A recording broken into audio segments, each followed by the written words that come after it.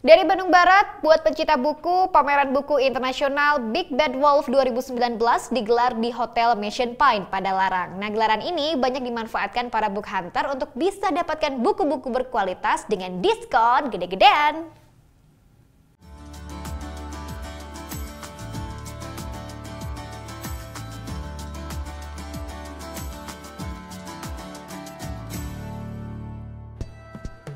Antrian menuju pintu masuk lokasi pameran buku Big Bad Wolf 2019 di Hotel Mason Pine, Kota Baru Parahyangan pada Larang, Kabupaten Bandung Barat, sudah mengular sejak pagi hari.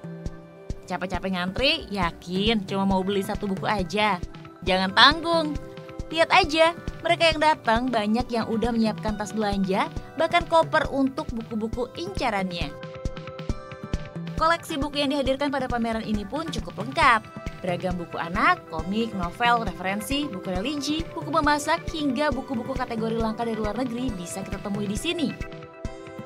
Meski baru pertama kali diadakan di kawasan sekitar Bandung, Big Bad Wolf 2019 dapat sambutan baik dari para pencinta buku.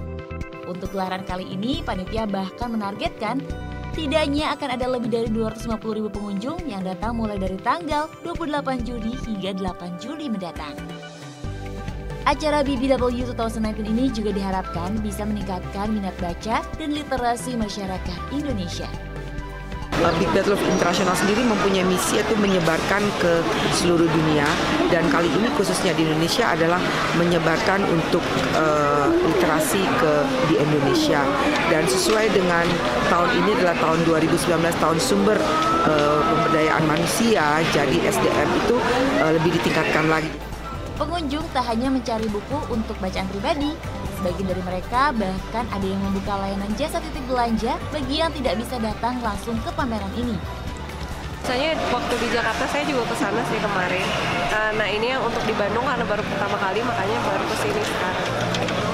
Uh, memang sendiri atau misalnya ada uh, dua-duanya sih untuk sendiri juga untuk justip tapi kalau justip nggak yang sampai niat banget gitu sih cuman kayak iseng kalau temen ada yang nitip aja Areal buku anak jadi salah satu yang paling banyak didatangi pengunjung. Hadirnya buku yang memadukan teknologi seperti suara, animasi, tekstur hingga buku empat dimensi membuat pengunjung semakin betah berburu buku.